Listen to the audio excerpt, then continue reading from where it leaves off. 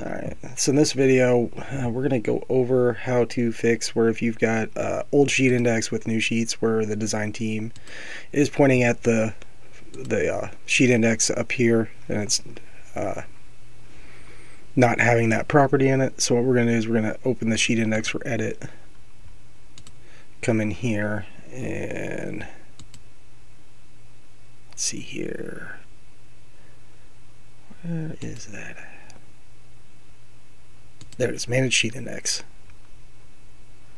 Did that pop up on your other screen, Steve? Yeah. All right. Here we go. Yep, no problem.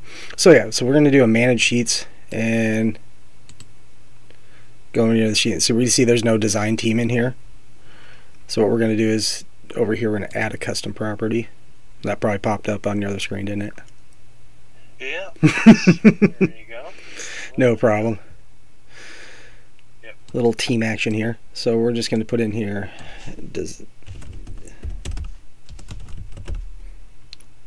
and you can go ahead and type yours in there if you want.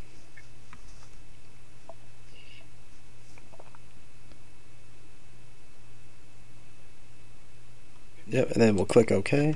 And you see it adds it into the index here. We're going to click OK again. And then there we go.